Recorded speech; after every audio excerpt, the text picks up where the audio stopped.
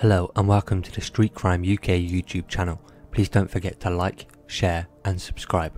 Today we look at a former housekeeper at a luxury hotel who has been locked up and branded a poisonous drunk by a judge after she subjected her long-suffering boyfriend to a series of alcohol-fueled beatings. Natalie Lord, 44, stabbed Laith Gaynor in one attack and battered him over the head with a saucepan in another after she accused him of being unfaithful.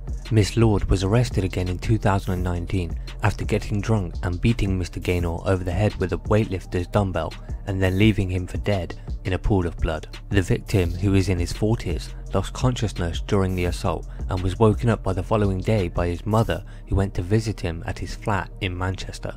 The victim suffered 3 quarters of an inch laceration to his left temple and a 2 inch wound to the back of his head. He also suffered multiple chest grazes, teeth marks on his chest and bruising to his hand. Mr. Gaynor said, This last attack has left me feeling very depressed. I have forgiven Natalie too many times now and I do not want her to do it to anyone else. At Manchester Crown Court, Miss Lord of Salford admitted causing grievous bodily harm and was jailed for 27 months. Miss Lord was also banned from contacting Mr. Gaynor for 10 years under the terms of a restraining order. Sentencing Judge Hilary Manley told her this was a sustained attack and you have absolutely no excuse for committing it.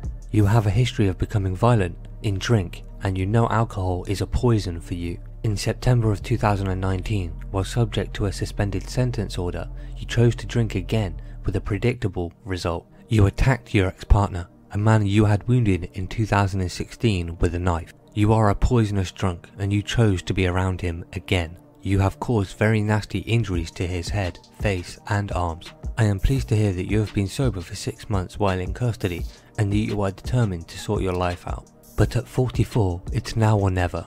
Last year, you had an altercation with a neighbour and spat at her, and you were convicted after a trial for that offence. You have reached the end of the road in terms of chances with the court. Earlier, the court heard Miss Lord and Mr. Gaynor had been in a relationship for a number of years, but it was said to be volatile, unpredictable, and difficult at the best of times. Prosecutor Miss Amanda Johnson said, one minute they could be laughing and joking, and the next minute she could turn violent. Prosecutor Miss Amanda Johnson said, one minute they could be laughing and joking, and the next minute Miss Lord could turn violent. Arguments over infidelity tended to be the lead to episodes of violence. There have been previous assaults by this defendant to the complainant, and the first involved a knife where Miss Laws caused cuts to his chest and forearm. The second time, Miss Lord used a pan to strike Mr. Gaynor to the head five times and used a glass object to hit him over the head with. Miss Lord says both times she only acted in self-defense. In this case, it was an unprovoked attack when she was under the influence of alcohol. The claimant suffered injuries to the back of his head while his back was turned in September of 2019. He had been out drinking and gone back to Mr. Gaynor's flat. Mr. Gaynor was sat on the sofa when Miss Lord accused him of being unfaithful. Then, while his back was turned, Miss Lord struck him to the head and forearms. He recalls waking up between his bathroom and the living room. Mr. Gaynor described how his head felt like it was shaking and there was blood all over the floor. Mr. Gaynor was woken up by his mother and he was confused and bewildered. In hospital, the defendant mentioned that Miss Lord had hit him with a dumbbell.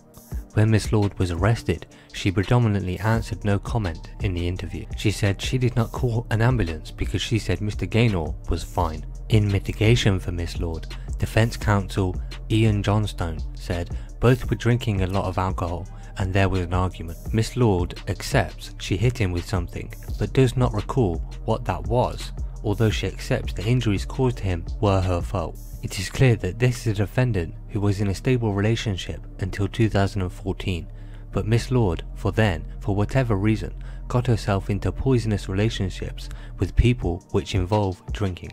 Miss Lord has created a very chaotic lifestyle, especially with Mr. Gaynor. It was an on and off relationship, when she has been drinking, she turns into a completely different person. Miss Lord is 44 now and she really is serious about tackling her substance abuse. She is serious about getting her life back together. Miss Lord has no intention of going back to her drinking ways of old. Miss Lord is capable of putting up quite a fight in drink. She is not a hopeless cause and has demonstrated she is capable of leading an honest life. Police investigating the latest beating of Mr. Gaynor in September 2019 discovered Miss Lord had a history of drink-related violence and had been flouting a suspended sentence order imposed for assault on three strangers in 2018. During that attack, Miss Lord had gone on a wild night out after she worked out at a shift at the four-star Principal Hotel in Manchester city centre, then became enraged at a woman speaking on a mobile phone in a foreign language as they and other commuters were waiting for a bus. Miss Lord shouted, I can understand you and you are slagging me off, you fucking foreigner, before turning on the victims. One female bystander was punched in the face twice before Miss Lord took on the victim's boyfriend when he tried to intervene. A third woman was slapped to the face and called a white ass pussy before Miss Lord was eventually apprehended by staff at Shudehill Coach Station in Manchester. Miss Lord had also been convicted of attacking a neighbour in a separate incident whilst drunk. So what are your thoughts about Miss Lord and Mr Gaynor's relationship and how booze would ignite arguments between the pair which would lead to physical assault against Mr Gaynor leaving him battered and bruised?